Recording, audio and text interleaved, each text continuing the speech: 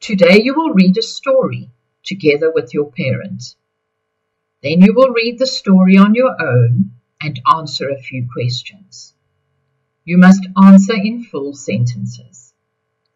Finally, you will write the answers to the questions. You will use full sentences. Activity 1.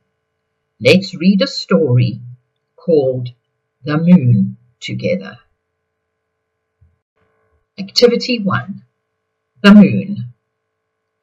The moon is a dusty ball of rock. It has mountains and craters, holes on it. The moon goes around the earth. It takes 27.3 days for the moon to go around the earth. We would weigh less on the moon than on earth. Twelve people have walked on the moon. That could be fun. Activity 2. Now read the story called The Moon on your own. Read it twice. Then I want you to answer these questions.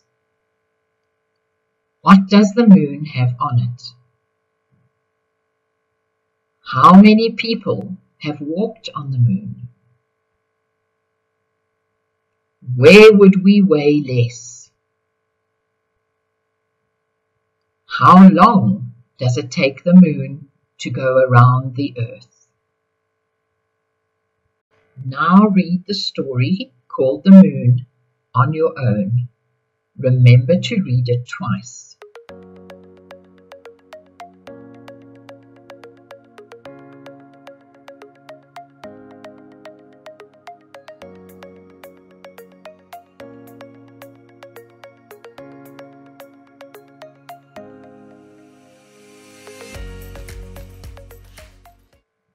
Activity 2.